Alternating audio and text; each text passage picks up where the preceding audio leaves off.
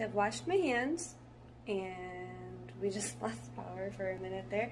It's storming now, so I kind of want to put one of these up to see if um, maybe the humidity will make a difference and maybe it won't stick as well, or maybe it still will, kind of like a science experiment. Um, I already feel like the hardest part about putting these up is going to be making sure that they're on straight, and then obviously doing more than one panel, you'd have to line them up so that the pattern continues. Um, so I'm gonna put one up and see what happens.